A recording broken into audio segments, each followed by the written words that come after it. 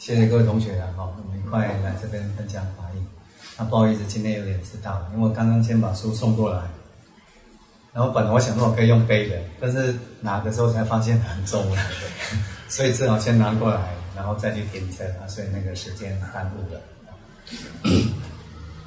那这就是上礼拜跟同学讲的，那方师兄说大概带了二十五本哦，然后跟大家分享。那这是我们联合讲堂那个那个印的哦，就是都有很多那个法友，大家来关那个注印，然后我们把它编辑，跟做一点那个读经笔记哦，然后就是整理原本的那个阿含经哦，阿含经其实就是两千五百年前哦，佛陀在世的时候真正的那个教法，那。我们就把它那个，其实我们一千三百多篇呢，我们大概用了将近五年的时间哦，然后每一篇都读过、讨论过遍。那在这个过程当中哦，然后那个一个专题一个专题的把它给编辑出来。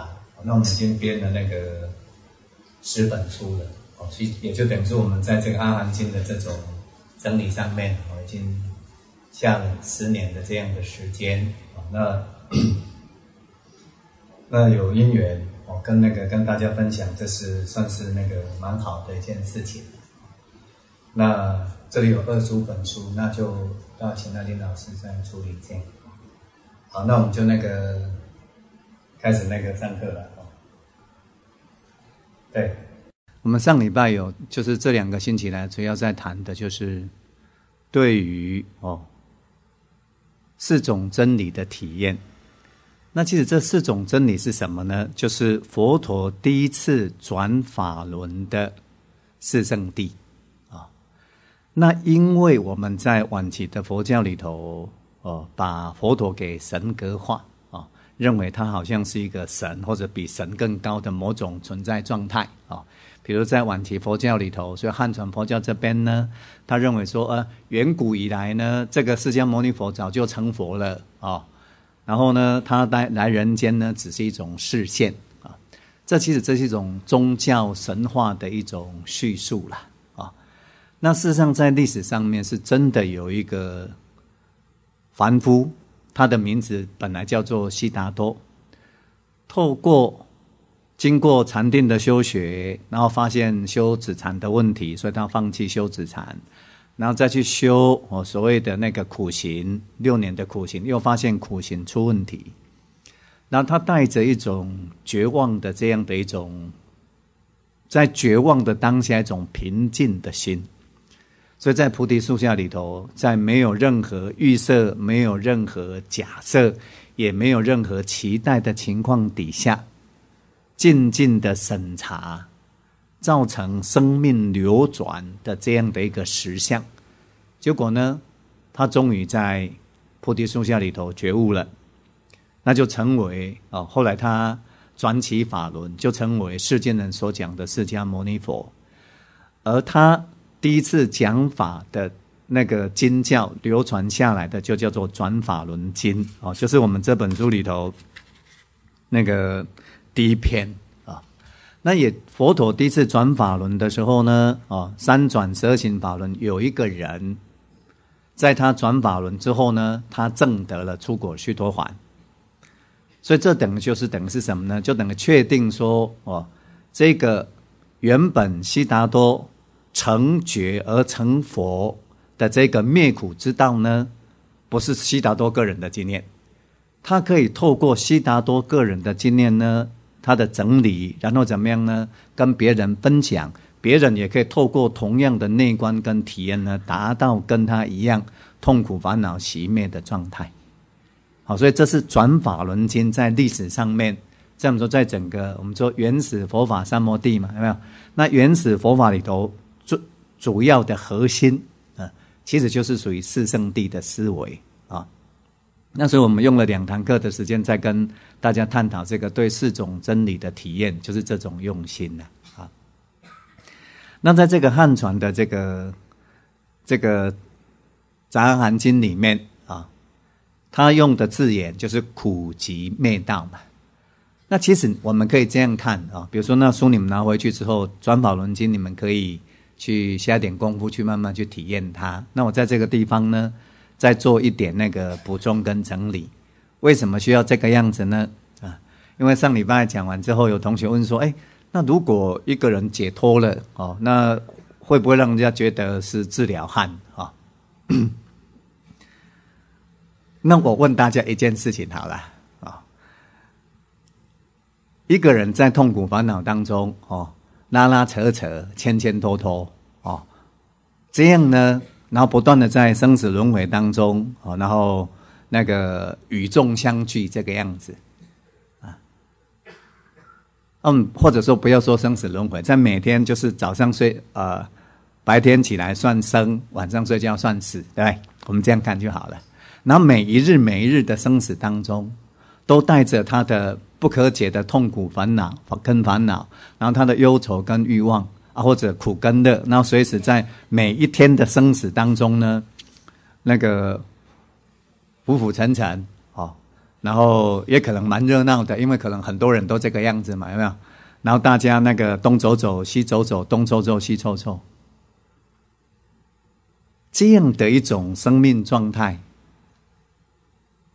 是比较比较有意义的，还是说透过对于生命实相的这种了悟，然后把自己内在的痛苦烦恼完全灭尽，到其中到底是靠意义呀？那为什么我们一般你看到目前为止，都还会有人认为说一个解脱的人？那你看，因为这是汉传佛教所谓的晚期大乘佛法。啊，把认为说啊，那个解脱者像阿罗汉呢，他们就是治疗汉。但是其实阿罗汉是什么意思呢？阿罗汉就是内在的贪嗔痴完全灭尽的人，就是一个彻底完全苦灭的人。谁是阿罗汉呢？释迦牟尼佛就是阿罗汉。所以原本如来应供那个应供就是阿拉罕，就是本来就是阿罗汉的意思。阿罗汉的意思叫做杀贼。杀贼是什么意思呢？把内在的贪嗔痴的劫完全杀死。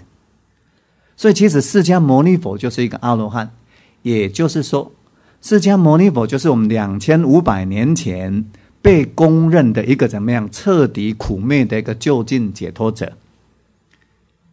那我们在一般时间就会很奇怪了哦，一边拜释迦牟尼佛哦，希望那个我拜拜你呀，有没有多给我庇佑庇佑啊？有没有我做一点功德啊？有没有？但是呢，一边又会想说：“哎，那他教出来的学生是解脱者，那解脱者呢是治疗汉。你们有没有发现这里有很大的矛盾？你敢信吗？你那是几个老师？你如果是一个老师，你会想要教出自私自利的人吗？我们将心比心就好了，你会吗？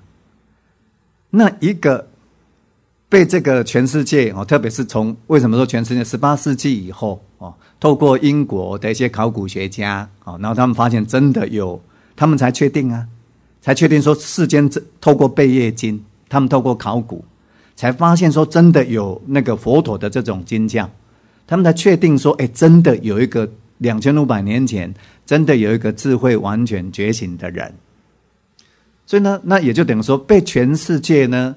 公认成一个就近觉悟的这样的一个一个觉悟者，然后你想他会，他教的学生大目犍连、舍利佛、富罗那，然后摩诃居须罗，所有这些男众，假设你我们在阿含经里头哦，超过五百以上的阿罗汉啊，男众超过五百以上的女众阿罗汉，然后他们都就近苦灭了，然后他们是治疗汉吗？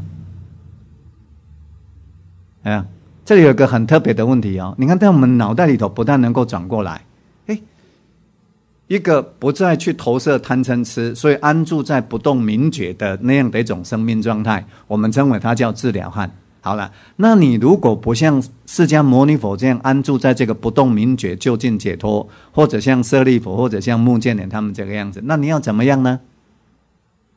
你要怎么样呢？那你刚想？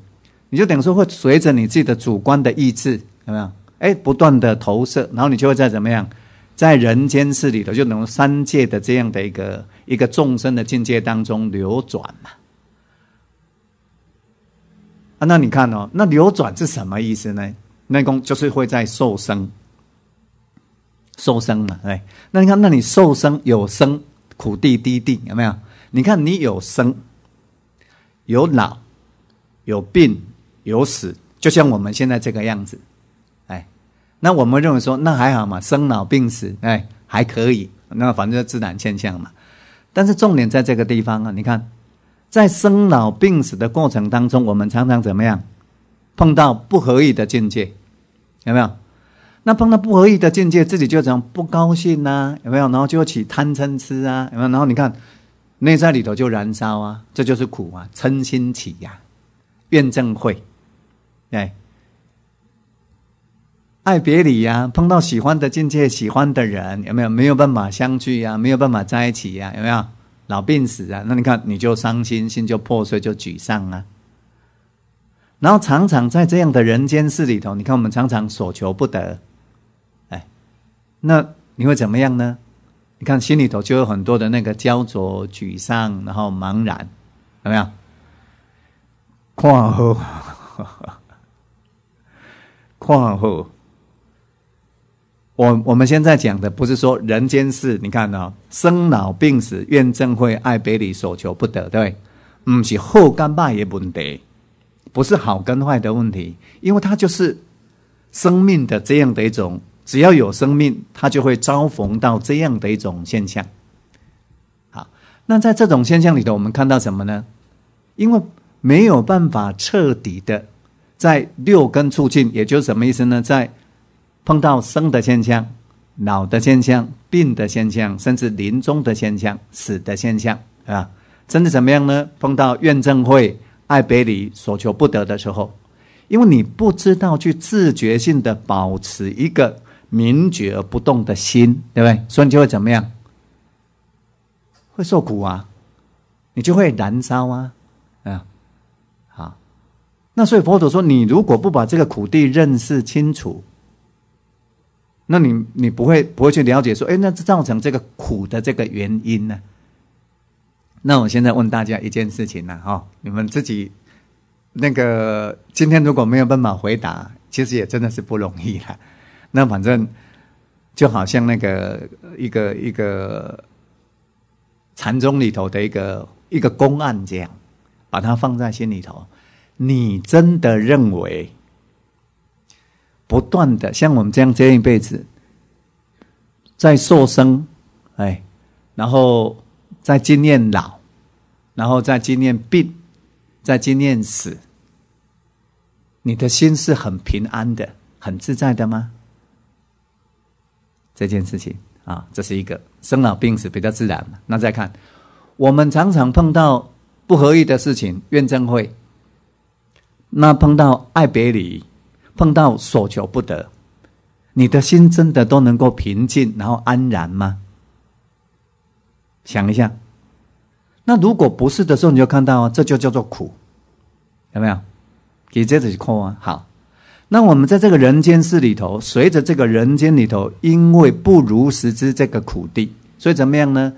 不断的夹杂着自己的欲望、自己的习气，有没有？自己的爱染。然后你看自己受苦，别人受苦，带着沉重，白天这个样子，晚上做噩梦，然后在白天再起来，拖着沉重疲惫的这样的身躯，然后流转在这样的一场人间事里头。然后呢，啊，我们来拜拜佛，有没有？礼礼佛，做做功德，然后这样，这样跟其实，你如果看清楚的时候，你会发现。这样是跟释迦牟尼佛的对于在这个世间里头的那个提醒，它不是不相关的。它其实它不相关，因为你看呢，那个那时候的那个悉达多，他就是去看到说，我如果不断的就是在这样受生，有没有？然后再去经验生命的这种老病死，然后再去经验这种怨憎会、爱别离、所求不得，就不断的在这边做重复而已啊啊！对他来讲。对他来讲，有没有？他看到说，那在这个过程，他怎么样能够保持一个完全不再有痛苦烦恼升起的心呢？哎，那他就看到说，在这个生老病死、怨憎会、爱别离、所求不得的这个人生的自然的现象当中，之所以会不断的升起痛苦跟烦恼，就是因为我们的心灵里面不自觉的在抗拒这些现象，然后呢？没有办法如实知这些现象，那这些现象是什么呢？其实你会发现，哎，它是随着各种因缘条件而升起的，随因缘而起，也随因缘而灭。但是我们的心里头怎么样？不如实知，也没有打算这样去接受，有没有？所以你看，那就会每天带着一种惶惑不安的心，很用力的在过日子，都惊掉嘞，好不好？都盯住，那其实这就是一种很深层的一种苦迫啊。那释迦牟尼佛他们就他就是看到这点有没有啊？所以他怎么样呢？那如果要把这个痛苦烦恼彻底熄灭，就变得很清楚，如实之见这个生命的这样的实相，什么样的实相？它是随缘起的原理而原生的，因缘起而原生的现象。所以它怎么样呢？它是无常的，它不是你能够要怎么样不就怎么样，不要怎么样就不不会发生，不是这个样子的。整个的存在的境界法界，哎，你看它都是各种条件在原生，啊，你看像我们现在每一个人的呼吸，它就在改变这里头的整个空气的密度，它的比率都不一样，哎。一个人进来，一个人出去，有没有？你看这整个的因缘条件其实就变了，它就变了，就等于说世上存在的实相就这个样子。但是因为我们怎么样，没有这样的一种自觉，所以就会在人生的境界当中非常不自觉的投入自己主观的好恶，所以就怎么样呢？你看。碰到怨憎会，抗拒他；碰到爱别离，抗拒他；碰到所求不得，抗拒他；碰到要死，抗拒他；碰到老，抗拒他。有没有？碰到病，抗拒他。然后在生命的境界当中呢，不断的怎么样？避苦居乐，避苦居乐。你看不？苦啊！哎，那所以解脱是什么意思呢？如实之见这样的一种生命的实况。所以怎么样呢？随顺这种缘起。就在境界当中，如实知这些缘起而缘生的境界，但是呢，自觉性的不再去投射贪嗔痴，有没有？只是怎么样，就缘起的条件来做适当的回应而已啊。所以我们说，依正见而有正确的生命导向。那透过这个过程啊，你看他痛苦烦恼就就近其灭，这样看出这个意思吗？所以，一个解脱者是什么意思呢？不是他叫治疗汉，解脱者的意思什么呢？从苦当中解脱，所以他的心呢，不再有这种痛苦烦恼。那你其实你自己可以去体验一下啊。当我们的心如果带着疑惑、带着恐惧、对，带着贪求，你会发现一件事情呢，那本身时时刻刻、分分秒秒、在在处处。对，都有心里挥之不去的苦感，不是这样吗？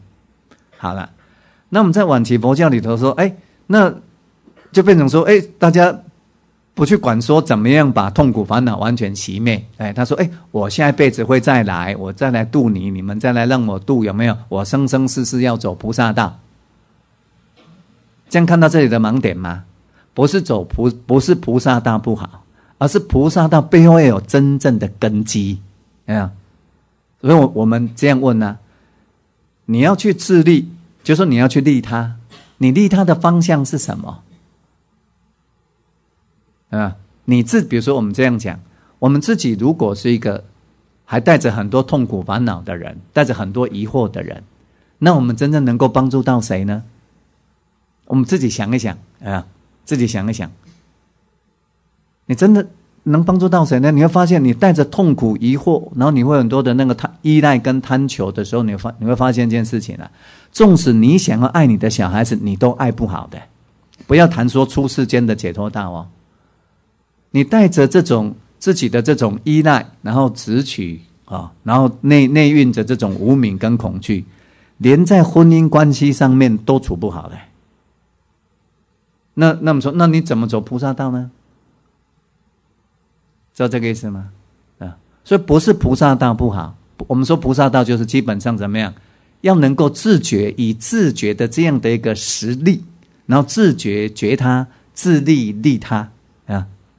怎么看呢？你看，就像看释迦牟尼佛一样。如果他没有觉悟之前，对不对？他也是一个，也是一个王子啊。那他也可以在这个世间里头，比如说我透过他的政治啊，或者透过他做带人家去做祈福啊、红白啊，有没有做很多宗教上面的事宜呀？也可以这样啊，因为那时候还是有很多宗教信仰啊。但是你看，那个那时候的释迦牟尼，那时候的悉达多没有走这条路啊？为什么？因为那那等于就是在梦中做梦一样而已嘛，没有办法从这种生死的迷雾当中就近醒觉过来。所有的一切事情，不是就像在梦中做梦一样吗？所以他那个看那个记录上面，他原本是一个王子，然后呢有一天晚上他们是怎么样？等于开轰趴了，有没有？然后。那些帅哥跟美女有没有？大家聚在一起唱歌、喝酒、跳舞啊！然后到半夜的时候，大概这个那时候的那个悉达多先生可能起来嘘嘘的，因为喝酒喝很多。然后他就看到，哎，怎么变都这样啊？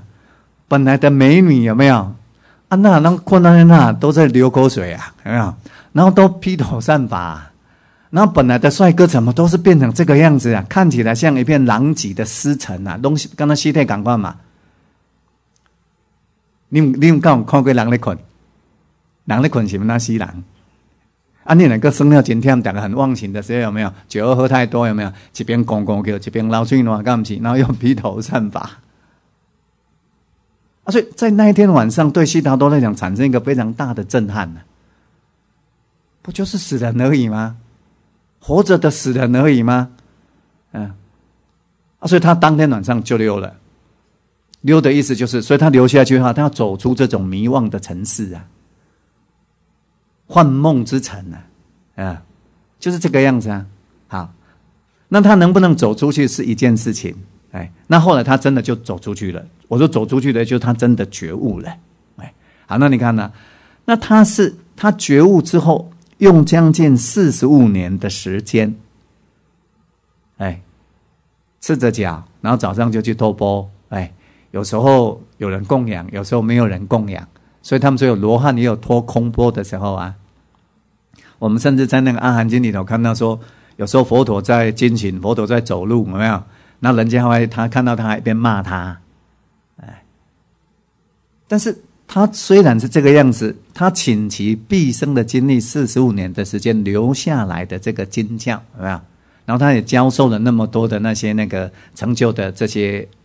这些阿罗汉，但是呢，后来的这些，等于说汉传佛教这边，因为受到佛灭后，就是这个释迦牟尼佛死后五百年才出世的，比如说你这些大般若经啊、华严经啊、妙法莲华经啊、阿弥陀经啊，这些所谓的大乘佛教的这些经典，事实上呢，现在历史研究已经确定了嘛，是五百年以后才陆续出来的嘛的这种影响。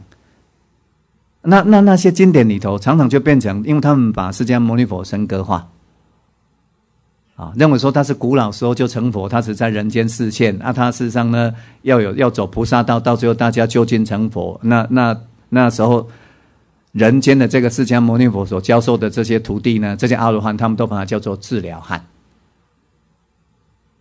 啊，其实释迦牟尼佛现在在佛陀面前，我告诉各位，释迦牟尼佛他就波涅盘了。如果他教的徒弟那些阿罗汉是治疗汉，那你们在拜的这个释迦牟尼佛就是治疗汉。那在拜他拜什么呢？你知道这个意思吗？你一你心里头在否定说觉悟从苦当中解脱是治疗汉，但是你又不断的去崇拜他，去恭敬他，然后你认为解脱是治疗汉，那他教出来的学生每一个都解脱，每一个都治疗汉，但是呢，你却会去恭敬他，去崇拜他。你看，这就是汉传佛教里头本身的矛盾。然后这样的一个现象会造成什么呢？我们到现在还没有办法很实际的、很实质的、很真实的来面对说，两千五百年前到底那个从凡夫而达到就近成佛的觉悟者，一其实是一个人，一是心，他到底教了什么？他为什么能够觉悟？他为什么能够就近苦灭？那你如果没有这个正确的认识，你看像一般你那的垂眼很开看啊，癌症治疗哈，那些不看抓了有没有？那我们走菩萨道的，我们要生生世世走菩萨道，然后要怎么样呢？呃，众生叫什么？要度尽众生，哎，那如果众生不成佛，我要怎么样啊？就不成佛，是不是？那叫那个那个，啊。那个地藏王菩萨呢？而且那都是晚期佛教晚期的那些印度人写出来的经典而已啦。但是你看呢，包括在这个世界，我们这样看，你看呢？假设哈，我现在我现在问大家一句话了哈，我们现在大家大概都经历过这种恋爱跟婚姻关系哈。我问问一下，你有没有会相信说有人会爱你一万年的？不要说一万年了。三百六十天，每天二十四小时都爱着你。不要说三百六十天了，三天。啊，所以那你看，那我生生是众生不空，那那个那个叫什么？地狱不空，誓不成佛。那这是什么东西呢？这是什么东西呢？那再来再看哦，你们有没有人要成佛的？有很多人不想成佛啊。叫这个意思吗？那是随着每个人有各自他生命的各种不同的选择，有没有？有的人喜欢我要成耶稣基督啊，我不要成佛啊，那你怎么样呢？啊，那怎么样呢？所以事实上呢，我的意思就是说，事实上呢，很多的我们很多的那个愿望，就是说，比如说在晚期佛教里头很多的那那些那个那个那个愿望，那是空的，那个不具有实质的意义。第一个，你看啊，你怎么样再转，你自己都没把握，对不对？你连自己再转都没把握了，你你凭什么说那个那个地狱不空誓不成佛？你连说我连在梦中里头要自主性的做梦都没办法啦，但是我们却会去相信那些东西啊？那为什么呢？因为那变成一只好像一个看起来、听起来比较伟大的这样的一个一个一个梦想。啊，有梦最美嘛，好梦相随这样？但是问题是它不切实际呀。你们看出来它的不切实际在哪里了吗？因为一切的现象，它都怎么样？它都是缘起的，你没有办法照你的意思去设定的。我们只有一个怎么样？会有一个，比如说一个一个方向，但是我们要怎么样？在这个方向当中，不断的随顺各种缘起的条件。我都你讲安诺都不安诺哎，如果可以这个样子，那这样佛陀就骗人了。所谓的缘起就骗人了，所谓的无常就变得没有意义呀，哦，那就是因为这样看看清楚吗？就是因为生命的本质，生老病死、怨憎会、爱别离、所求不得，纵使是这些苦，它也是怎么样？它也是缘起的。因为它是缘起的，所以它是无常生灭的，所以它怎么样呢？它不是任何人能控制，它也不会恒存。释迦牟尼佛就是看到这一点，所以他发现怎么样呢？所以我只要随时在六根处境的时候，保持这样的一种缘起正见，然后怎么样呢？活在当下，就究竟苦灭了，随时就能够把痛苦烦恼熄灭掉了。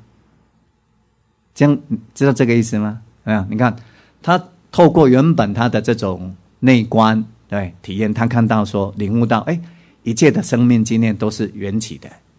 那在这种缘起的这个实相里面，你没有办法做主啊。你没有，就说你没有办法要这个发生的现象不要发生，要消失的现象不要消失啊。你没有办法这样，所以你怎你只能怎么样呢？已经发生的现象。内在里头怎么样？没有贪嗔痴的投射，已经消失的现象就随顺它消失，没有那种留恋。所以等于说，他对过去没有顾念，对未来也没有投射，对当下呢没有任何执取跟迷惑，有没有？所以他的心就活在一种全然的明觉上面。啊，所以他痛苦烦恼就完全熄灭了。那这就是原始佛法里头的修学的要点。所以我们上礼拜只强调说，一定要怎么样，如实之见这个生命的实相之苦，然后造成这样的一个生命流转的原因是什么？极，这个叫极地。哎，啊，所以呢，你先看到，你一定是要能够先看到说，哎，生命的这样的一种身心流转的这种现象，然后你才会进一步去探索说，造成身心流转背后的原因苦集，哎。所以你才会自觉性的想把这种流转不自主的这样的一种随因缘条件而不断投射贪嗔痴的这种现象呢，有没有？而升起痛苦烦恼，怎么样把它给熄灭？所以你才有办法去苦灭呀。那苦灭就是解脱。所以解脱者，我们现在强调一点，就是解脱者不是治疗汉。你如果没有，你想一下，一个人。你如果没有体验到这个苦灭的这个境界，你怎么样帮助别人远离痛苦烦恼？释迦牟尼佛他就是这样来的，他先把自己的痛苦烦恼跟这种生死疑惑怎么样完全灭尽了，有没有？啊，所以怎么样，他就教人家把痛苦烦恼跟这个生死疑惑完全熄灭的方法，有没有？就教给大家。那每个人自己去体验啊，所以就有那么多的男众女众的阿罗汉成就啦，而且不只是成就，那个时候我们从经典上面看，不只是出家众，佛陀也讲啊，很多在家的，纵使在享受，就在家人享受五欲功德的，很多都证恶果，都证出果，很多很多啊。但是今天在这个世间。这样的一种说法很难被很难被被想象啊，因为都会认为说，嗯，那我这款代际啊，就等于变成怎么样呢？不知道说，其实修行它本身根本没有什么在家跟出家之分，而在家人，你看，这是佛陀讲的哦啊，你如果自己哎，像刚刚这样讲，你对于生命的实相。做一种彻底而理性的分析，所以在内在里头，在你的心灵里面，对于生死流转的原因没有疑惑，所以你也会很清楚的去体证到说，所以如果把这个无名跟欲贪是生死流转的原因嘛，熄灭了，可以心可以保持在这种不动明觉，所以生死流转可以熄灭，这叫什么？叫正见缘起？所以会怎么样呢？得法助智，啊，所以呢，得涅盘智，涅盘智就究竟苦灭嘛。法助智就是，哎，你知道生死流转的这个智慧了，哎，然后你才会怎么样呢？你看，你才会知道说啊，真的有一个佛陀，他们是真的是就近解脱的，哎，所以有那种修行人，他们是可以透过佛法的修行而达到就近解脱的，啊，所以你就会怎么样呢？对佛对法。对对，修行人，你看你建立了蛮坚定的，有没有这种依理性而来的理解信解？那再加上你看，再加上圣戒成就，就是你这样在家人持守五戒。佛陀说，这种人怎么样呢？他这种人叫做正得出果须陀洹的人，这就是须出果智。你看他如实。了知了生死流转跟生死熄灭的因跟缘，然后呢，对佛法生誓不坏尽信圣戒成就，这种人叫做正得出果须陀洹的圣人。那这种人会怎么样呢？顶多七往人天，就是呢，他顶多七辈子在人界跟天界啊往生，他不会怎么样，不会堕入三恶道。这是《阿含经》里头很明显的。就是很明显的这样的一种叙述啊，啊，所以这里头不是说只有出家人能证出国须陀洹，在家人也可以啊，很多在家人都可以证出国须陀洹，在原始佛法时代啊，啊，那你看，如果对这个法你不去用心，没有一个正确的这种认识的时候，我们会怎么样呢？你会发现一件事情呢，我们会一直内在里头会一直回避生命的实相。你不会想要去如实知见生命的实相，难道会怎么样呢？会不断的活在自己所投射的梦想里面，好吧？我要跟先生暑假的时候，我们要去欧洲一下，有没有？寒假的时候要去哪里一下，有没有？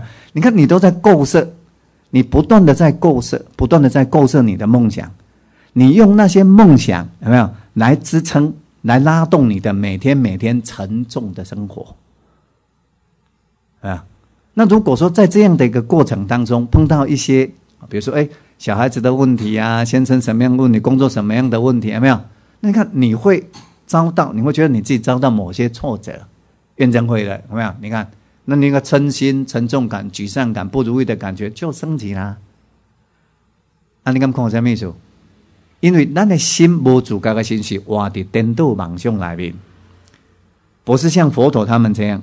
他们是活在缘起而无常的实相里面，所以他知道境界随时都可能做各种不同的发生，他没有办法去掌控境界，对对？因为境界是缘起跟无常的，但他该怎么样？他知道在任何境界当中保持对于当下的这种正知正念，有没有？所以他随顺缘起，活在当下，然后怎么样？心平衡舍心，就等他怎么样？走在八正道里面，活在八正道里面。啊，所以平常，比如像我们说在家人，你纵使还没有证的阿罗汉，那你有这样有这种缘起的正见，然后培育这种对于自己起心动念的这种正知正念，所以我们说正见缘起，然后怎么样呢？自觉性的活在当下，所以会怎么样呢？随时观察到无常缘起，所以你看，你会自觉性的守护自己的心，有没有？看到自己的心投射贪嗔痴的，你会怎么样？见贪嗔痴，离贪嗔痴。那当贪嗔痴没有升起了，心会有一刹那的那个完全平衡稳定的状态，那个叫舍心。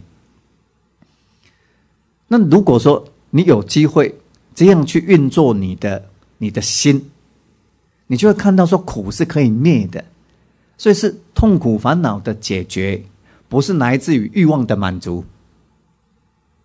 欲望的满足有某种快感，啊，那是快感。但是彻底熄灭痛苦烦恼的这种解脱的境界，不是来自于欲望的满足，而是怎么样？来自于欲望的消除。对于境界不再有欲贪去投射，那这样你会发现，你就变成一个自在的人，这叫做解脱者嘛？你看你当下有没有？因为正见缘起。无常，所以自觉性的随顺这种缘起无常的现实的条件啊，然后不去投射贪嗔痴，只做适当的处理啊，它就是一个苦灭的一个状态呀。那如果能够这样持续性的去修学，哎，你看他从原本对治自己的习性，然后到能够随观随断，他就从原本凡夫的状态，然后进入。入流的状态，甚至会正出果，然后导向贪嗔痴更薄正恶果，那到最后呢，对这种不断投射欲望带来的苦迫很明显，所以他怎么样呢？他不再喜欢去投射欲望，所以他会正三果，就是正阿那含，那到最后连这个维系的这种欲贪我慢都熄灭了，所以他正得就近解脱的状态。这就是整个原始佛法的修行的道路。所以，他可以从可以让一个从充满疑惑、充满贪嗔痴的我们说所谓的凡夫的这样的一个阶段，透过亲近善知识、听闻正法，然后怎么样呢？经过自己内在的这种体验跟思维，哎，然后呢，他有所体验，心灵转向，他就会入流正果。原始佛法是这样的修行的路。所以它不是一种宗教崇拜，哦，是这样。那再来，所以你看他在四圣地里头怎么谈？第一个，你看他先谈光这个苦，你看他说你要知道这个苦，生老病死、怨憎会、爱别离、所求不得。你们觉得苦不苦啊？啊，要去体会它。好，那你看说你要先，你看刚开始听来，对不对？所以知苦，然后他在讲知父当知，你知道生老病死、怨憎会、爱别离、所求不得，他的这种苦，但你要体验更深一点。知负当知，知道了要更知道他，就是你要体验更深一点，不然他怎么样？他是浮面的，这叫第二转的苦地。那第三转就怎么样呢？苦知怎么样？知已出，什么意思呢？你看到说在境界当中，你如果不断的不是随顺这个无常生灭的境界，你会怎么样？你就会不断的加深那个痛苦烦恼。而且你如果如实知当下的这种无常生灭，不去投射，你看你就能够随时是从痛苦烦恼当中处理出来，好不？所以你看这叫三转，三种的三斩除。第一，你先怎样苦？知道之后呢？你要那知苦，然后知负当知，体验一下，深深的体验一下，然后这才会进到第三个阶段。所以你会知苦已出，已经出离了这种痛苦烦恼啊。那极地是什么？我们说无名跟欲贪，对不对？他也这样讲，你要先怎么样？先知己呀，先怎样？先知己。那你知知己之后，你要怎么样呢？要去断断它。先知己，然后第二转就你要去断呢。知道己之后要怎么样？当断，你就应该去断除这个无名跟欲贪。你看第二个阶段，啊，那第三个阶段是什么呢？知道已经断出了，你已经断除了这个无名跟欲贪了。先看到他这个层次吗？其实佛陀的教法是非常非常理性的。好，那有关灭地就是苦的熄灭嘛？你看之前。我们从来不会相信说苦可以熄灭。那你看你现在听佛陀的这个四圣地的这种思维，你听到说，哎，苦是可以熄灭的。好，你现在知道有这个灭，那你光知道没有用啊！你要怎么样？所以知道这个灭，你要当正，你应该去自己的心灵里头去体证到这个苦灭的这个状态。然后呢，知道灭，然后灭呢当正，然后第三个阶段怎么样？以证出，你那灭你已经，已经就是对这个苦的这个熄灭呢，你已经完全证得了。哎，那三个层次不同，有没有？知灭当证已证出，然后道呢？你看我们刚开始不知道说因缘于对这个生命如此的这种知见正见，哎，所以呢有这种正确的生命导向，然后呢根据正见跟这种正命。正确的生命导向，这样去说话，这样去行动，这样来生活，然后自觉性的不断的去断除这些不恰当的这种投射，修饰正断，有没有？然后呢，所以呢，为了达到不断的离恶向善，所以随时在六根促进的时候保持正念，然后心能够平衡稳定，这叫道，八正道，有没有？那你看以前我们不知道，那你现在听到就所以道呢，你先知道这个道怎样，先知道。那知道之后你要怎么样？道应当修，叫做劝修，所以你要去修看看，去体验看看，那你才可能到第三个阶段，知道怎么样？道呢已经修出了，就是你已经把这个八正道呢完全怎么样？不必再刻意去运作，你的心已经活在八正道里面了，所以怎么样？苦就究竟其灭了，就变成一个完全自由自在的这样的一个心灵状态。这就是转法轮经，有没有？的三个层次，四圣地的三个层次有没有？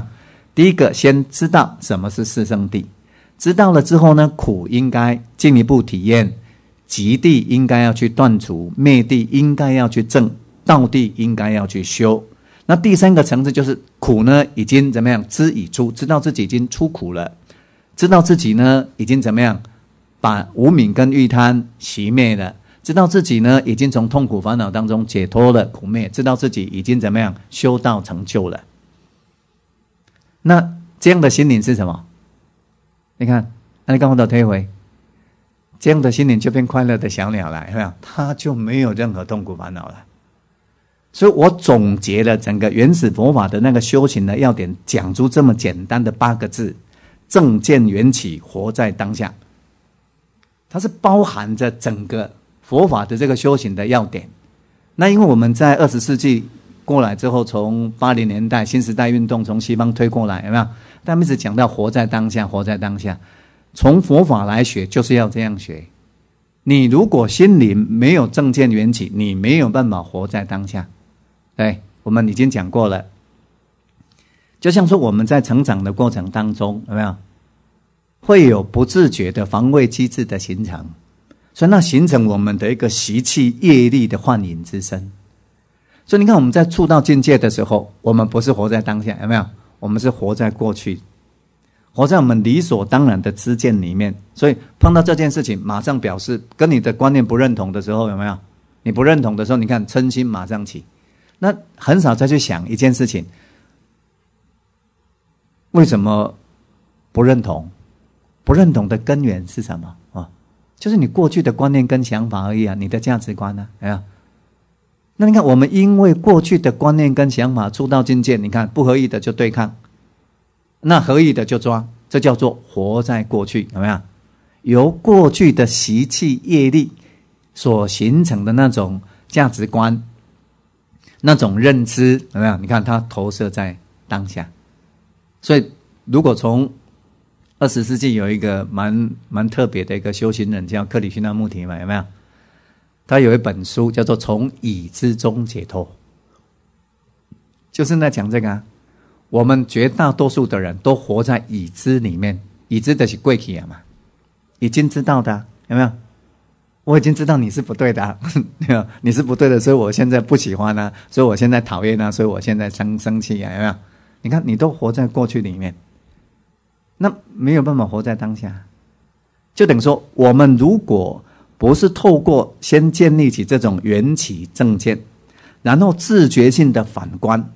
看到我们内在里头不断在六根促进的时候，有没有很多没有自觉、没有反省的过去的习气呢？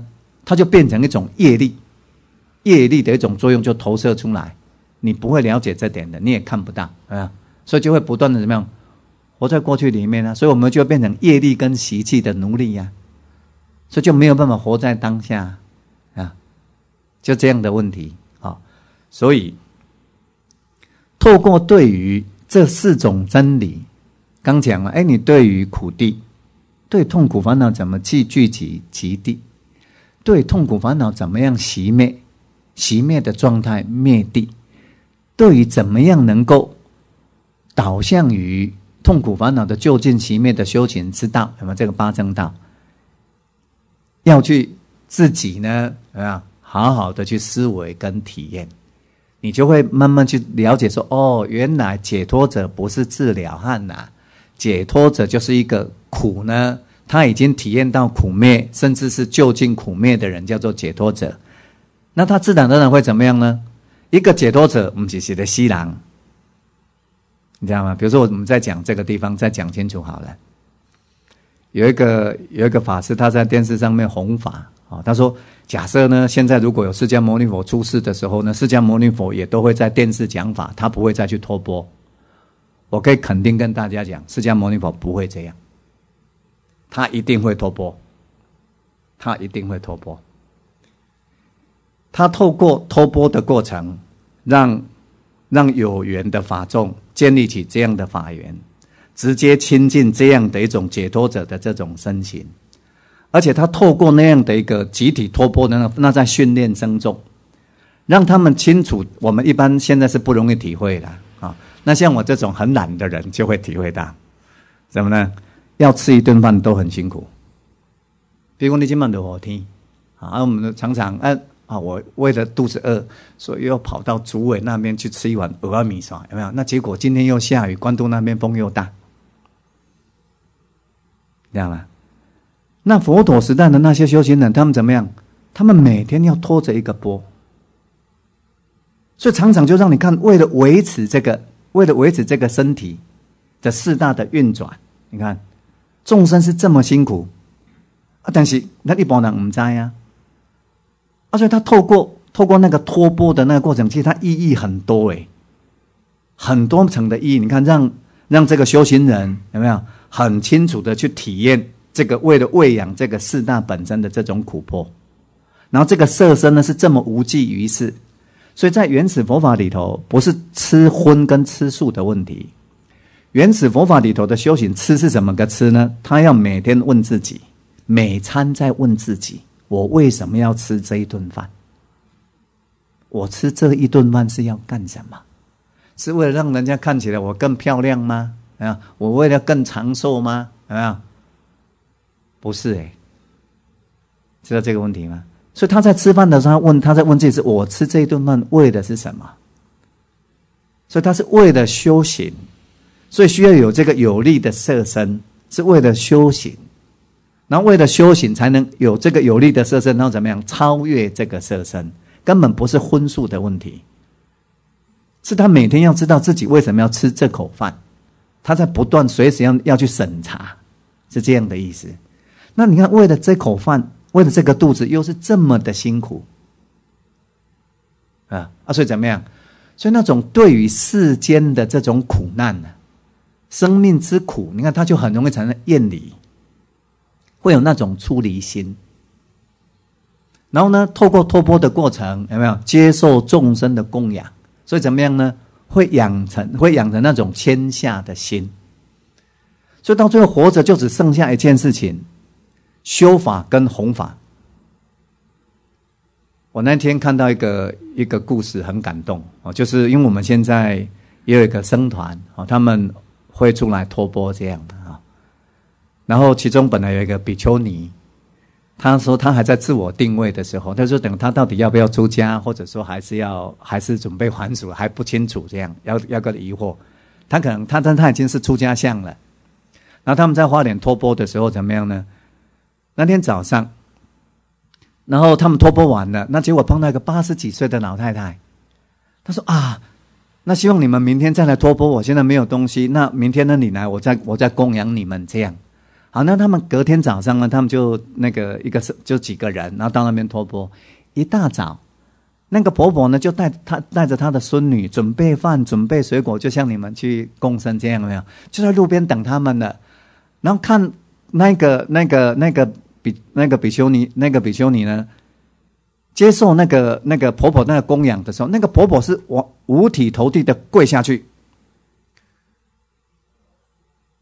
那个比丘尼当下决定，他马上看到自己，那那就是那一关。他看到说：“我到底何德何能？”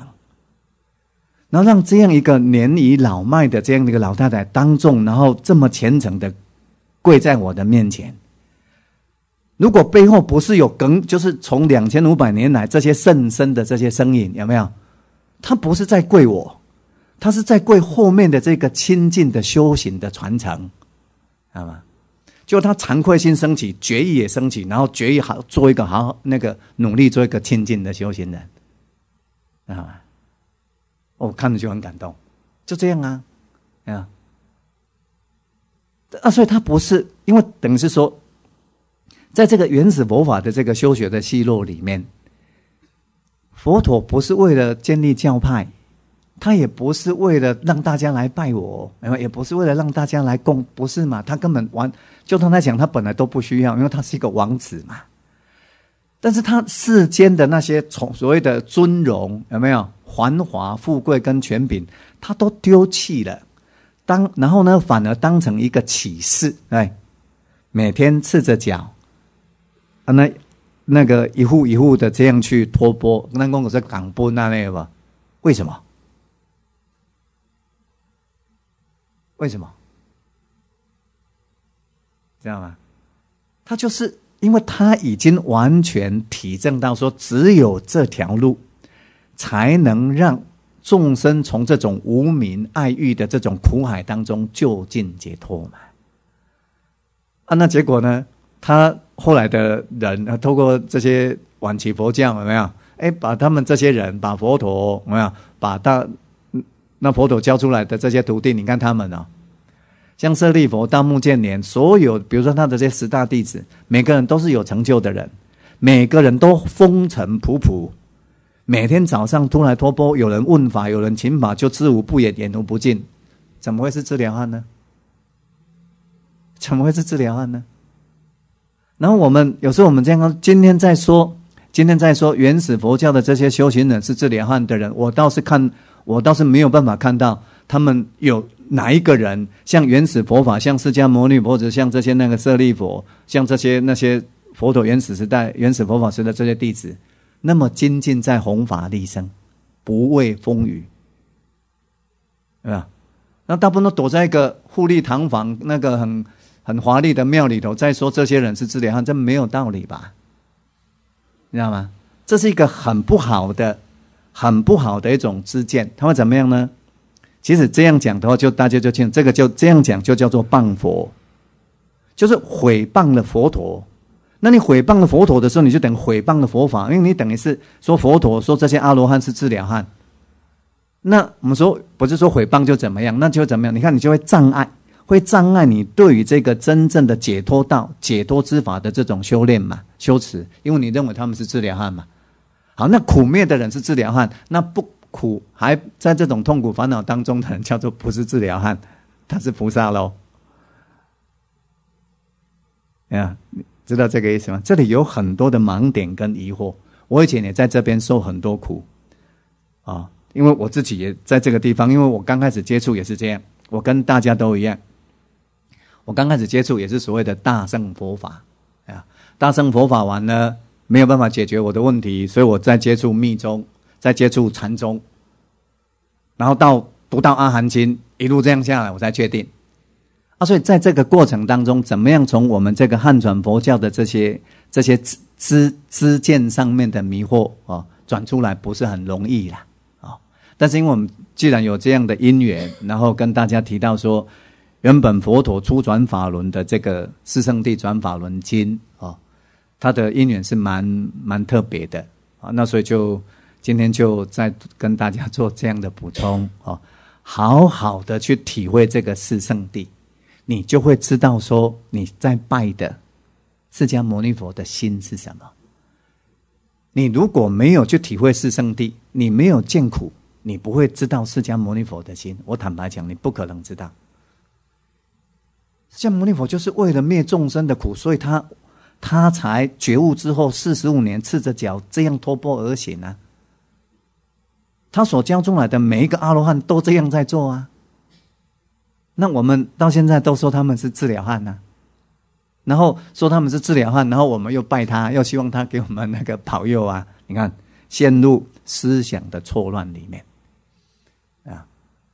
哦，所以在这个地方呢，哦，就有这个因缘，然后跟大家做这样的分享了。好，那我们休息一下。好，我们准备开始上课。哦，刚讲的四圣地的这种思维，其实跟我们要进入的这个主题它息息相关。它什么呢？我们今天要讲的主题是我们的亲友，其实是我们的生命的成长团。我们一般很少这样在做自觉，那到这边怎么样呢？哎，刚刚东西互相来依赖不？互相依赖，那都把彼此之间的关系呢，它放的蛮平面的。就是你们大概还没有听过这句话，对不对？哎，咱的亲戚朋友是咱伫类似生命当中的一种成长团。咱但是咱一般无呢，想想讲啊。来行济啦，好不？啊，无来报恩的啦，啊，刚才欠济拢较济安尼有没有？而且这样的一种一种观念啊，其实它会对我们的那个亲友关系的这种对待呢，产生不一样的这种面相。我们先这样来想好了。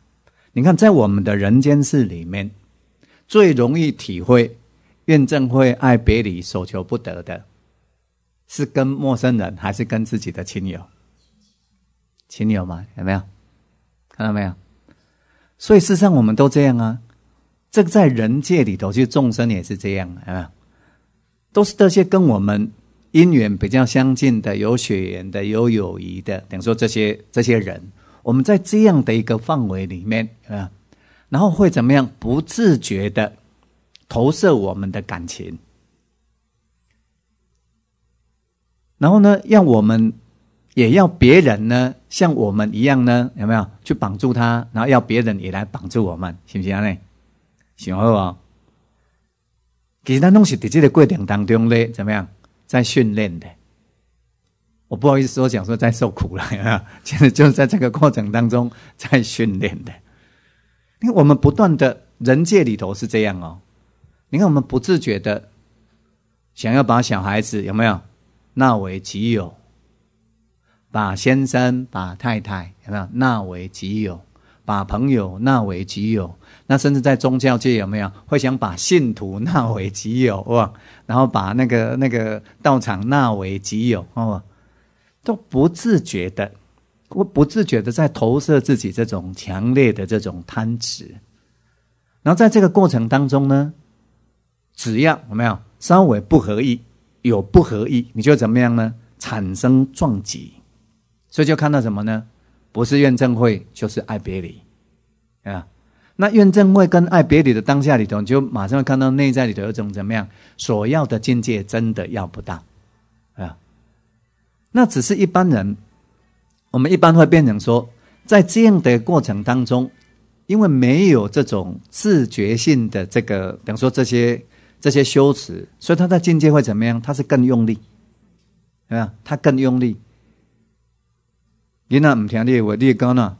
诶，路派有没有？然后你可能更想去控制他，哎，然后更用尽各种办法，哎，那很少很少自觉性是说，哎。如果我把我的亲友、亲戚朋友，我们彼此之间的这种遭遇、这种感情的投射，当做什么呢？当做是怎么样看到我们心的一种显象。所以在这个过程当中，怎么样受到苦了？所以我们怎么样？就像那个四圣地里头讲的是，哎，看到这个苦，体验到了嘛，是吧？让我听你耶有没有？连听都不听，哎，然后你看到，哎，你的心的这种。啊，这种挫败感啊！我说，哎，妈妈死了，爸爸死了，小孩子死了，有没有？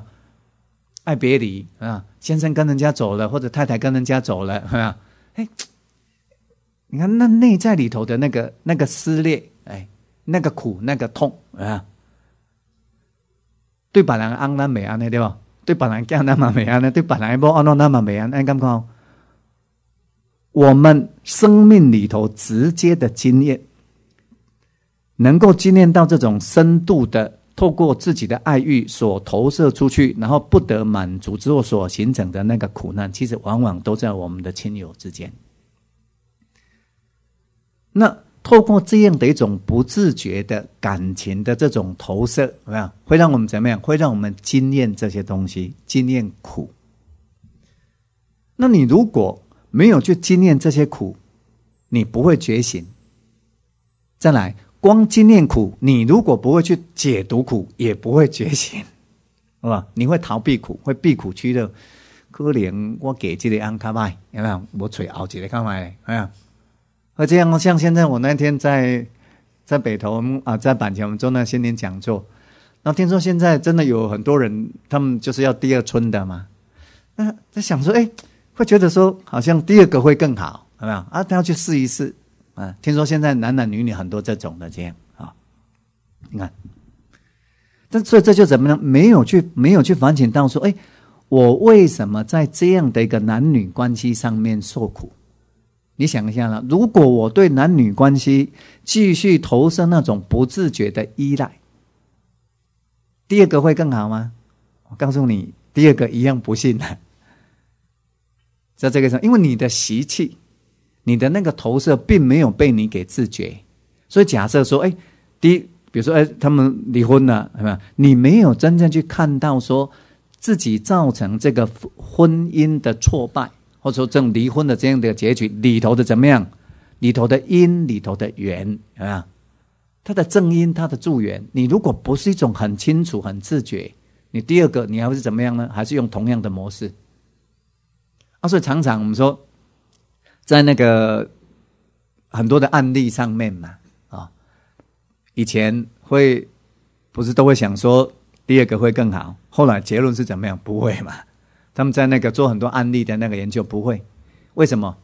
行为模式没有被改变，男男女女的，就是要找第二春的人呢，对于自己的行为模式没有自觉，所以碰到的几乎都是同样的状态。啊那所以我现在讲的就是说，所以呢，我们在这个人间里头，这样看啊，因为人界它不自人，它不自觉的，它跟动物不太一样哦，它是投射了感情之后会要求感情上面的回馈，动物不会，能知道吗？呃，前几天哦，我看到一件很感动的事情，我看了七个钟头。因为我家前面，我们那个虽然那个阳一个小阳台，那我种了很多棵树这样。然后那天呢，奇怪早上就两只胖胖的那个小鸟，它就孤在那个地方。那我本来以为它们是大鸟，因为又没有巢。那结果呢，就发现有瘦瘦的鸟就咬东西来给它吃，然后又又飞走。那另外又有一只咬东西来给另外一只吃，就等于是什么呢？公鸟跟母鸟，它们呢？就是一直在找虫给他们这两个小孩子吃，从早上我十点看到下午快五点，母照尾哦。然后那个就是那个母鸟跟那个公鸟，它是到五点多的时候还是在还去找虫哎。然后找虫，它找虫回来，然后那个小鸟嘴巴就这样，那就弄下去。然后它吃完，它就又飞走，又去找，又去找，七个钟头。哦，看的实在真的很感动。你看那种，我们说那种，那是什么？母爱、父爱，对，那种亲子之间有没有？父母对小孩那种生物的那个本能有没有？那么纯洁呀，啊，他们你看他们教他会飞之后就散了，啊，嘎嘎也不会对吧？啊，就让他们自己去独立了。那动物是这样，但你看他们也有，你看他们在那个在那个养育的那个过程当中，你看那个真的很感人呢。然后那个小鸟哦，都胖胖肥肥的，你知道吧？那母鸟都瘦瘦细细的，一点都不会滴的催眠干了，看起来滴的不会滴催眠干了，弄不停了安尼。有那种爱有没有？但是但是他不会说出口啊，哎，很感人啊。那我们在人间里头也有这种感念，妈妈爸爸对小孩子的呵护有没有？啊，他没有，也是都基本上都不会有那种那个那个，原本都不会想要那种回。回报的心有没有？但在这个过程当中呢，你看我们会本来是很天然的这种感情，然后慢慢变成是哎不自觉的有没有？变成一种感情上面的投射，啊，所以就变成希望接受你的感情的人要怎么样呢？慢慢变成满足你的意志，好不好？行不行嘞？你看我们在对待小孩子，一直爱他爱他爱他，到最后怎么样呢？哎。你就会希望他怎么样？希望他不怎么样？有没有？我爱这个男人，有没有？希望他接受我的爱，有没有？让他接受我的爱之后，你就怎么？希望他怎么样？怎么样？照我的意思，有没有？我爱这个女人，事实上是希望这个女人接受我的爱，有没有？接受我的爱之后呢？你会告诉他说，希望他怎么样？怎么样？看到没有？但是我们不自觉的在做感情的投射，这很正常，对。然后就怎么样呢？会夹带着这种主观的这种投射跟欲望了。啊，所以在这个境界当中，你会发现，他就怎么样，带几的复杂嘛，就复杂了。你看这里头就有辛苦在了。啊，所以常常会变成怎么样呢？只要对方的那些行为有没有，或者说话，他不太符合你要的那个模式，你就变成怎么样，就会怨憎会啦。啊，就在所求不得里面呢，你看心里的苦苦苦感就升起了，苦受就升起了，啊。那我们一般人没有在这里头去读它。什么意思呢？因为我们一般人他是活在自己，你看感，就像我们从小被养育的过程当中形成的那种主观里面，我们都活在自己的主观里面，没有真正去看到生命的实相，就是没有去看到那个缘起。啊，所以呢，碰到境界的这种所谓的对抗，所谓的不合意，我们不是在当下哎去观察。如此之见，这样的一种缘起有没有？然后来，调伏、调整自己不恰当的投射啊，而是怎么样呢？马上起嗔心，甚至起嗔心之后起更强烈的嗔心，有没有？然后在这里头就会变成自己受苦，也让别人受苦。这样看清楚这个美感吗？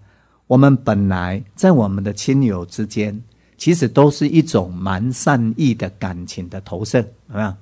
只是呢不自觉的在这种感情的投射当中，慢慢变成怎么样，夹缠了很多的主观的这种欲望。那所以在主观的欲望不自觉的这种投射，那所以在彼此相处的过程当中呢，你看慢慢就有很多的对抗性的那种冲突产生啊。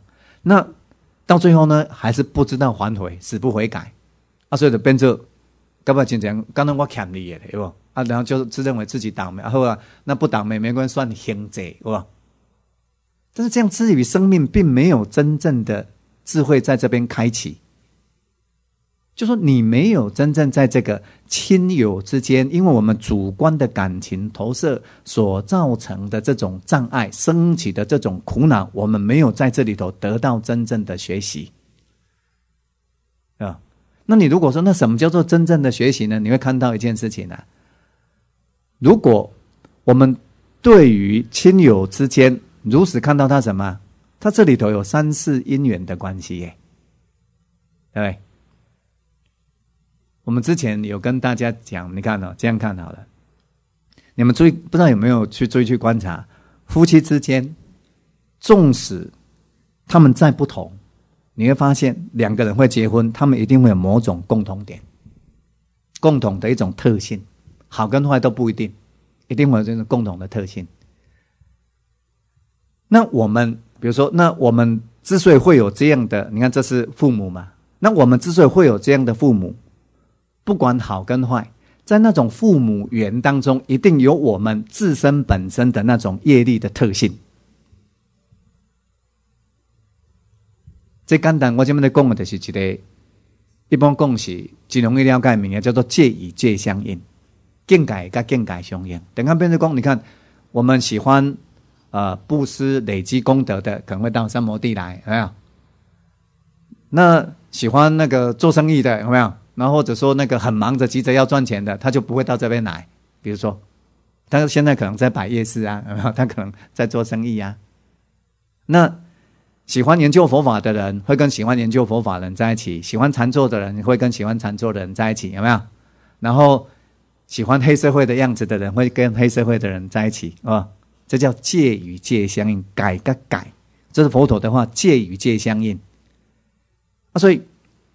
我们在这个等于说，透过这个因缘业力的关系，做一种三世因缘果报的这种宏观的时候，你就看到什么呢？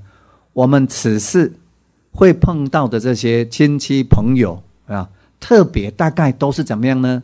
跟我们在这个累世的这个生死轮回的过程当中，有蛮深的引力或者次力的引力的是，比如讲来波呢。亲兄爱有没有吃力的人刚刚来偷这感官，对吧？比如说这样，我简单用这样让大家来了解，有没有？就等于说，在这个过程当中，都事实上是怎么样呢？是有有蛮深厚的因缘的，不管是善缘或者恶缘。好，那在这样的一个状况底下，有没有？所以呢，我们会不自觉的。对于他有没有？我们会等于说，对于比如对我们的亲友，你会会会发现他跟一般陌生人是不一样的。这里头会自然而然有属于血缘的感情的的这样的基础，然后形成很深的那种联系感、连带的那个关系，有没有？那也就是因为这样的连带的关系，所以让我们让我们怎么样，容易不自觉的投射了主观的好恶。啊其实这常常才会在这个过程当中真正经验到我们的内在。我也说的功，比如说你看，像我们一般人，比如在街上，对啊，比如说我们现在在听法啊，大家坐着，那在这边讲法，有没有？跟你在家里的时候会不会一样啊？哎，不赶快呐！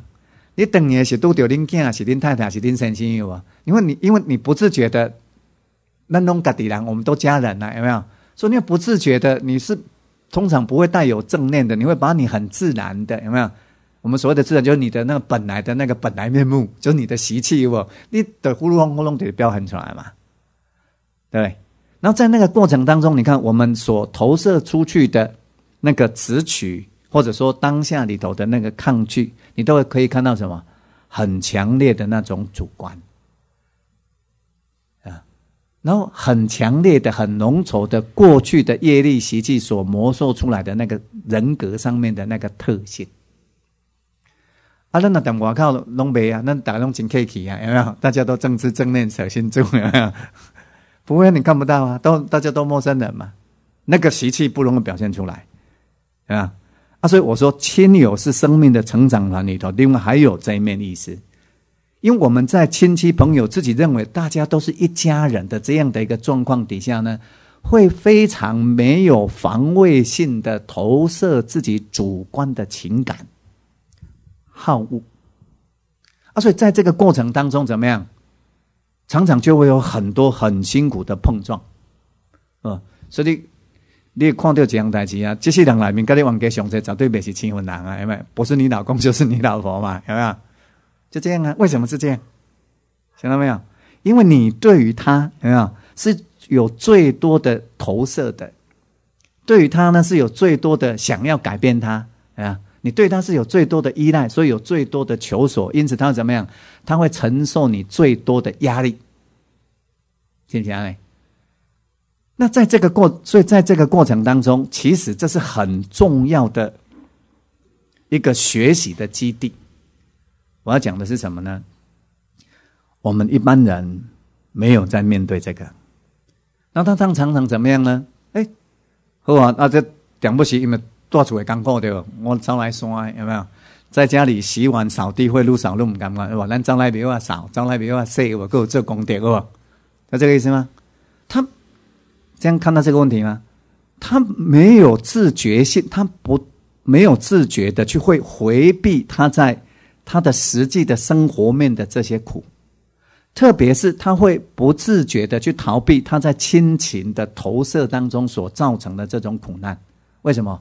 因为他不敢面对自己内在里头的那个依赖，依唔在，他受不了这种苦，啊，所以他怎么样呢？他会回避他，避苦趋乐，啊啊，哦，好在那个三摩地又要办那个到那个斯里兰卡去共生了，有没有？好，暂时避开一下，我们赶快找更多的人去，有没有？然后，那问题有没有解决？没有解决。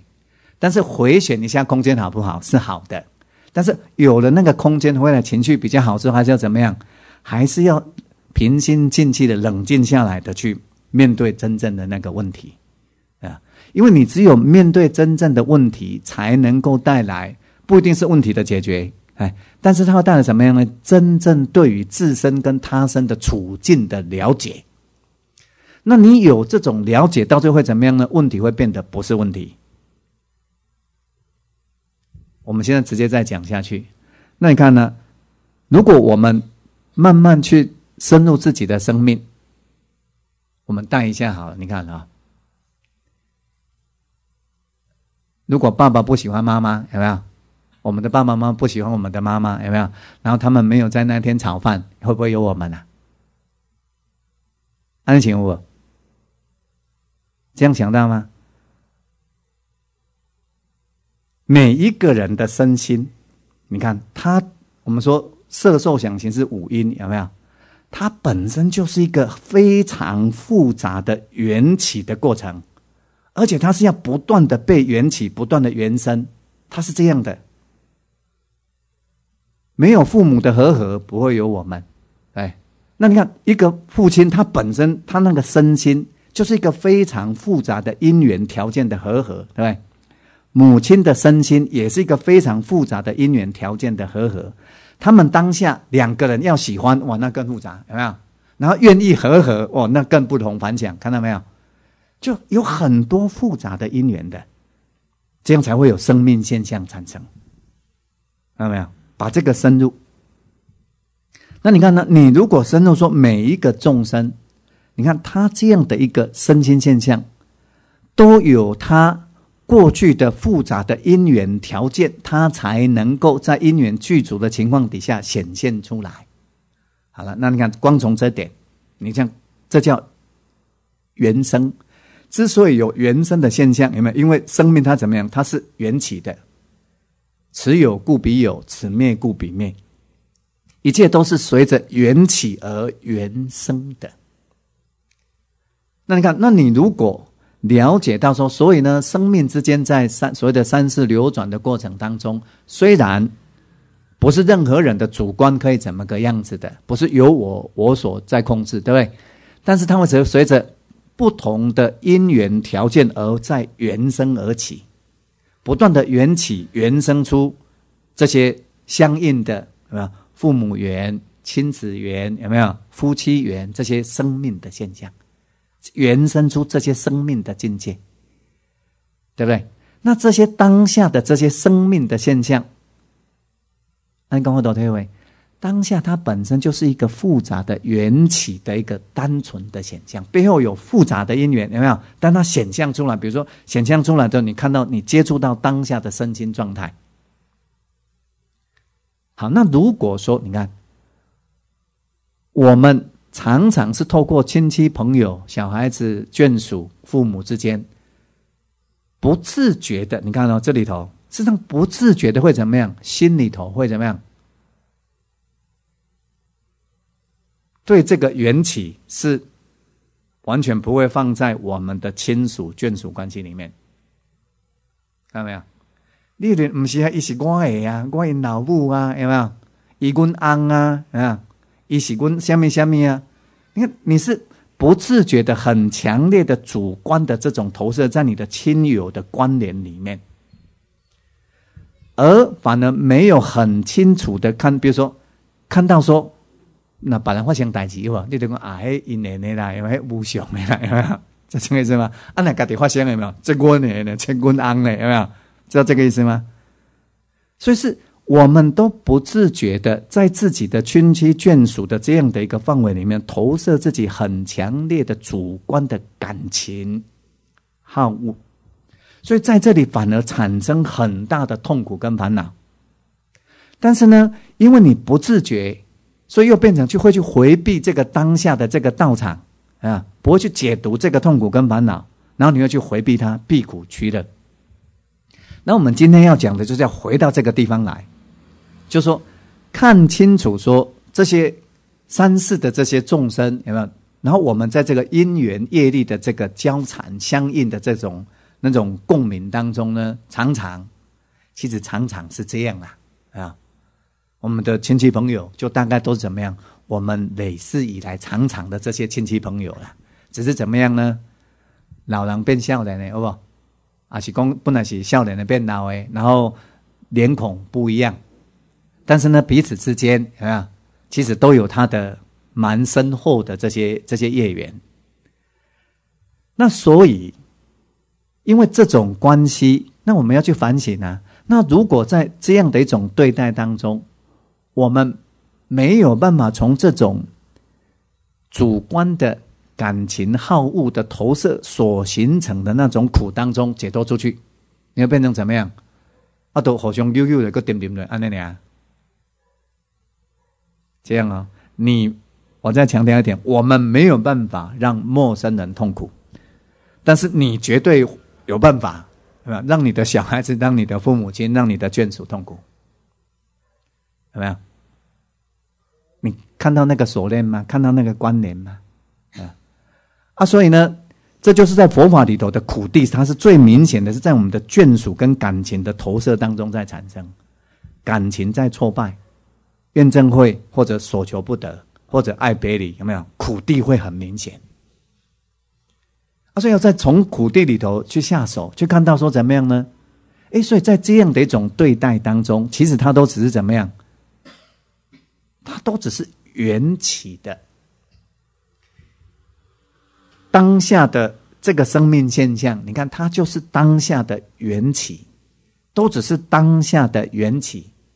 那在这个当下的缘起当中，因为我们的心不愿意移到这个。真真理这个实相上面来，我们会把它移进去自己的主观的愿望里面、主观的梦想里面。所以在面对亲友的种种境界的变化，有没有？我们常常怎么样？不容易释怀。对，比如说，你看我们的这个身体，哪时候是一样的？没有啊，从来不会有一刻是一样的。啊，你看吸气进来，吐气出去，马上就变了，啊，都随时都不一样啊。那我们原本的这个脑袋，我们原本的很多的那些价值观啊，我们有很很多的那些对待，其实你都要发现一件事情呢，只要因缘条件不同，整个其实就已经不一样了。所以很自觉性的从缘起的角度去观察，观察我们的小孩，观察我们的太太，观察我们的爸爸妈妈，对吧？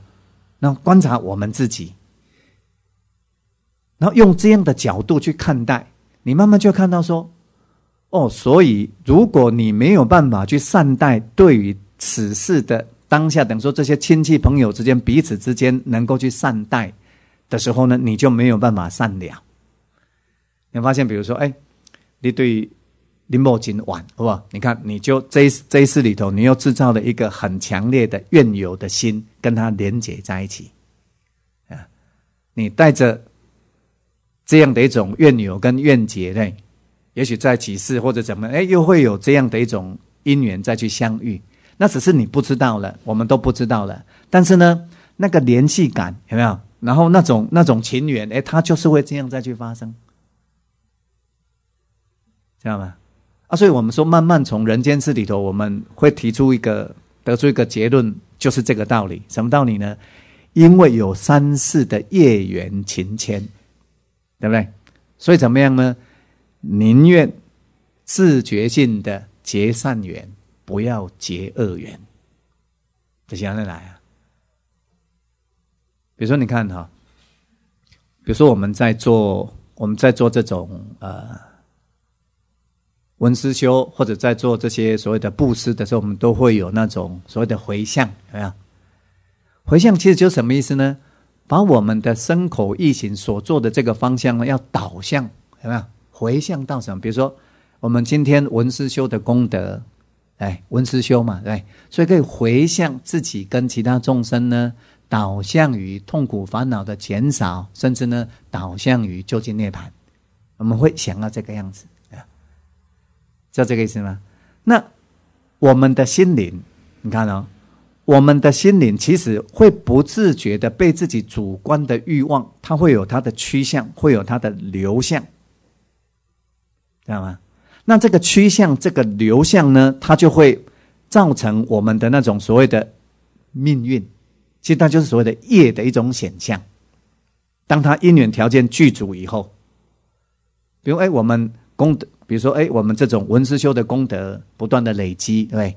那回向这种自他的这种醒觉，那累积到一定的条件，有没有？真的会觉醒呢？也会有，也会帮助别人往这样的方向走啊。那这什么来自于哪里？来自于你内在里头的那个趋向、那个流向，善的是这样，恶的也是这样啊，没有？所以我们说，你看我们有持戒的功德，那持戒的功德就怎么样？回向自己，比较不会堕入三恶道啊，是吧？它会这样的发生啊。然后我们有这种布施的功德，那布施的功德就是容易怎么样呢？再加上持戒，就容易回向自己，有没有？有那比较有可能产生这种人天的福报啊？那你刚回到天有见没？看，我们平常不是都有在做这些功德回向？其实这是这个艺术，我们生命的流转也是这个样子。那所以呢，你看，所以我如果自觉性的，对吧？在这一世里头善待我这些亲戚眷属啊，所以。回向有没有？希望说，哎，现在是有因有缘在相聚的时候，有一个比较好的那种关联，有没有？那那是可能发生的哦，那是可能的，是这个意思吗？那所以呢，了解这个三世的因缘果报的这种牵连，我说，因为我我看我们很多同学都是想要继续再来当人嘛，很少还没有说。很少说想要说此事累积有没有？然后那个很想那个就近解脱的啊，目前那个看起来好像还没有没有很明显嘛，有没有？但是要再来人界，哎，有这种人天的福报，然后好好的经营家庭，好好的经营这个人间的生活的同学大占大多数嘛。那我现在在谈的就是这个问题，他会哦，会再来，哎，只是再来的时候，你会，你当然会不知道你是谁啦。但他在这里在说明什么呢？随着你跟人界的这种业缘情牵啊，只要你有善业，他就会再来。那我们刚讲了，戒与戒相应，所以呢，常常你再来的呢，都是其实都是跟你已经是熟悉的了，只是不认识了。用过去谁熟悉？啊，你今晚别记得啊，那年。那所以我现在讲的就是说，所以呢，要能够自觉性的去善待此事的这种缘起，所以必须要自觉性的把我们的亲戚朋友，特别是我们的眷属，当成是自己生命的成长的伙伴。知道吗？特别是当我们的亲戚朋友跟咱连掉的时阵，我做老母也叫囝连掉，对吧？有的做人的母会叫安连掉，哇！啊，有的做安其实也叫嘛，是叫某连掉啊。我们最近比如常常看说啊，现在什么那个小三现象，其实哈，有男人有女人这样，就有男人那样；有男人那样，就有女人那样。只是呢，一般怎么样呢？男人不敢说而已。那女人，比如说那个先生劈腿的时候，他们比较比较去面对；男人面对老婆劈腿，点点也不敢讲，面子问题，这是传统的文化的问题了啊。比如说之前我我那个有个人，他打电话，他说：“哎，你是明台讲堂吗？”我说：“是。”你是周老师吗？是。他说：“那我可不可以耽误你点声？”说：“可以。”那什么问题？他闹了很久很久，一个男众。闹了很久，我就说你不要跟我讲应酬话，对吧？我不会问你是谁，我也不会问你名字。我发现你心情不好，你直接把你心情不好的事情跟我讲好了，我可以跟你分享。就是他老婆劈腿啦，然后他在问我说，他要不要告他老婆？要不要告他老婆的那那个那个劈腿的那个对象啊？你看，但是他不敢告诉我他名字，但是他有问题，他很苦。这种问我接到电话，他就一边讲就一边咳嗽。知道吗？好，那你看，我是我的意思就是说，原本夫妻之间，你看，原本是你看花前月下，对不对？王八对绿豆啊，越对越看越有趣啊。但是你看到最后变成这样，那就是变成在此时，它就变成一个恶缘，好吧？变成一个恶缘。那他这个恶缘，你如果比如说，那你如果看，比如说假设说这个男众，哎，后来我当然这样说，不要告了，有没有？然后整顿自己的身心。那其实有很多这种人啊，哎，看到在婚姻上面的这种被被所谓的被背叛，哎，然后他怎么样警觉到啊，了解到说，把自己生命的幸福跟安乐寄托在一张纸上面，有没有？是一个很冒险的事情啊。然后更进一步看到说，生命本身不断的缘起，而且背后有这种复杂的因缘条件，连自己都是不可靠的，你怎么可能去靠另外一个人呢？那有的人因为这些过程，就是因为在生命当中遭受这种来自于亲友有没有的关系上面所带来的这种挫折，就是苦嘛，苦恼嘛，有没有？然后他深入了去观察，造成自己这种痛苦、烦恼的这种因缘，然后怎么样呢？他成熟了，他放下了，他成熟了。但是如果说不去正视，不去正视说亲友本身，我们这这个这个亲友就是我们不自觉的这种感情的投射。你只是一直认为说他是理所当然的，所以要理所当然的得到回馈，那样呢都会变成怎么样？往往都在制造下一此事跟下一次的痛苦跟烦恼，它是会变成这样。所以呢，要能够啊自觉性的把我们在人际之间，特别是在。亲戚、朋友、眷属，我们说在亲子关系有没有婚姻关系啊？然后眷属的这种对待上面呢，要把它变成是一种自觉性的修炼，变成一种自觉性的修炼。我讲是主刚性的修炼，为什么呢？不然你看啊，如果我们一般来看呢，你看啊。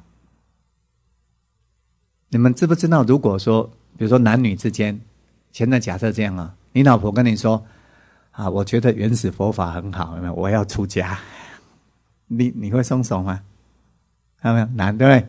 啊，如果你老公跟你讲说：“哎，嗯，这个佛法不错，有没有？然后我觉得这样能够通达究竟苦灭，而且可以自利利他，福利人天。我要出家修行。”哎，晚上就开始蒙着棉被了，有没有？哎。那蒙着棉被是还好，那有时候你可能就就或许在对立寡半有没有？你可能就发飙了，可能就会这样啊。那你这边我在讲什么呢？你看我们在面对自己的感情的投射的时候，往往是怎么样？把自己把别人绑住，也把自己绑住，看到没有？所以不自觉的时候，我现在不是在讲是跟非啦。那讲人生里面的课其实都是安内啦。灵感里面，我们不自觉的感情投射出去之后，用感情绑住对方，有没有？然后也要对方怎么样接受我们的戏服？那所以呢，我们就不自觉的也会被对方给戏服，也变安内。所以变成怎么样呢？你看你们想一下啦，在这样的眷属关系，它比较像囚牢，还是比较像道场？看到吗？看到吗？我的意思就是说，你如果有这种四圣地的这种思维，然后自觉性的把我们的接触亲戚朋友，包括我们的办公室都一样啊，自觉性的当成一种是在累世的轮转的过程当中可以去成就的一种成长团的话，你就发现一件什么事情呢？眷属关系就是你的道场，而不会是你的囚牢。对不对？看到吗？我们都是在感情的投射当中在学习的，其实是这样，其实是这样啊。比如说，我们在心理学上面看哈，一个人的人格特性的形成，其实跟后天的透过比如讲啊，那个课本的学习来形成的性格真少。好好教育是地下的较济，人格特性的养成呢，都是来自于怎么样？来自于家庭。有没有发现？好好来面是地性的呀，搞是地性的呀。但是另外个，哎，一个特质，他就是因为我们怎么样？你看你们生小之后，刚开始就怎么样？抱着他，等于说来自于家庭本身。动物，你看那小鸟，它需要它需要母鸟，啊，很好玩哦。母鸟在这边，然后小鸟它就会靠过去，嘎嘟嘎嘟，那个撕膜的那种感觉。小孩子也会这样，有没有？爱，爱。所以事实上呢，我们人格的养成，从心理学上面看，最大的影响的因素是来自于家庭，不是学校的知识。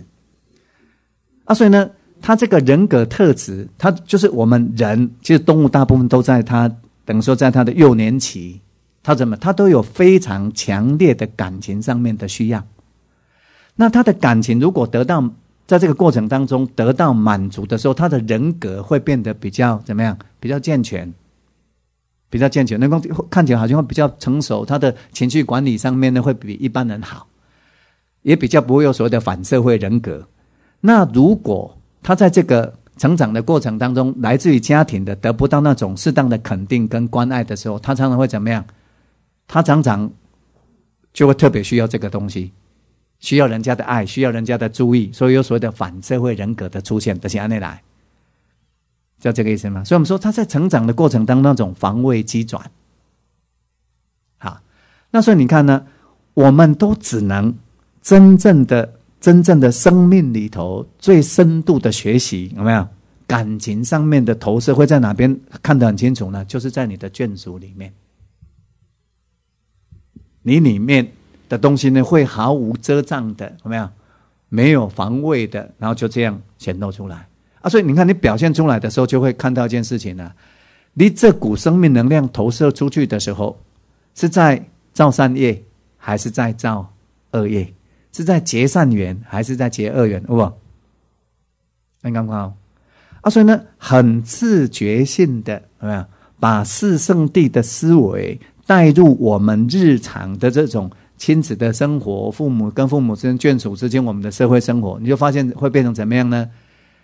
你的亲戚朋友眷属的关系呢，它就会变成一个道场，心灵里头非常激烈的道场，因为你随时看到生命的投射，恰当或者不恰当，看到苦，看到苦集，你要不要转？你会看到自己的习气，那你看到是你在习气上面受苦，不是别人让你受苦，你要不要转？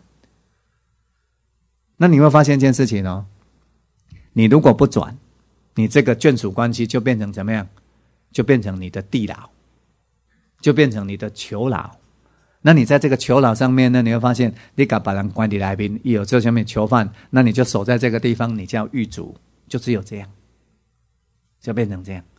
那你如果自觉性的把彼此之间的因缘当做是你一个修炼上面的资粮，有没有？所以随时在感情的投射跟彼此的对待上面。从四圣地的角度来看、来体验，然后呢，让自己慢慢进入一个缘起正见的这样的一个心灵境界，来处理自己的眷属问题。你会发现一件事情：你的眷属呢，就是的关联呢，就是你的莫大的道场，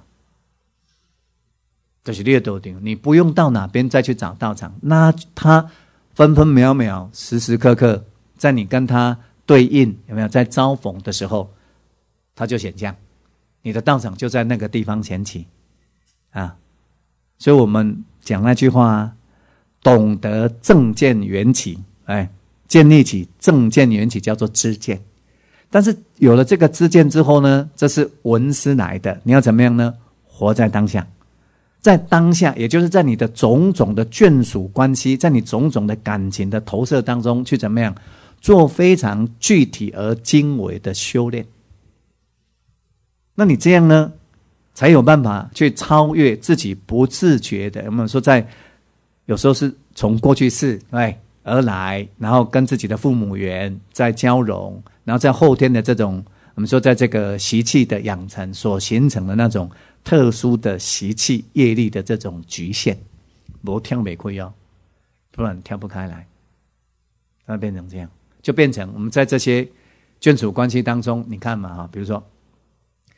有的人，我碰到那个，我们有今我今天过几对很好的那个，那叫什么夫妻关系啦？